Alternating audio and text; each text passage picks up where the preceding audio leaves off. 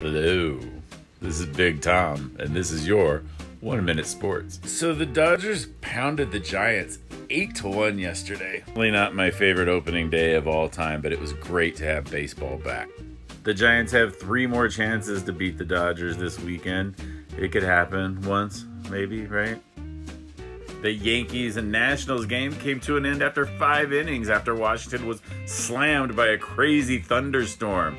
At least they uh, got enough baseball done to call it a game.